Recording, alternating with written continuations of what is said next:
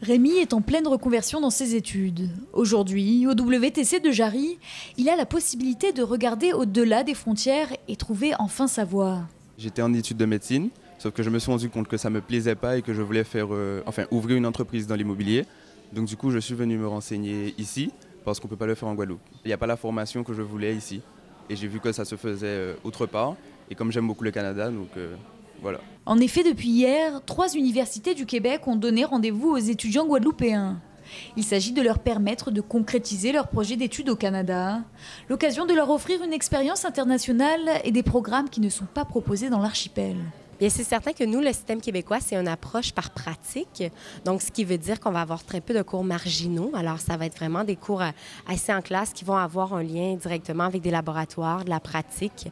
Euh, aussi, euh, nos, classes sont petites, donc on a environ 30, 35. Euh, bon, parfois 50 étudiants dans le même groupe, dans la même classe. Donc, très peu d'amphithéâtre de ce côté-là. Psychologie, biologie marine, design, art, de nombreux cursus sont proposés. Plus d'une centaine d'antillais étudient actuellement dans ces trois universités. Il faut tout de même compter 6 à 8 000 euros l'année scolaire.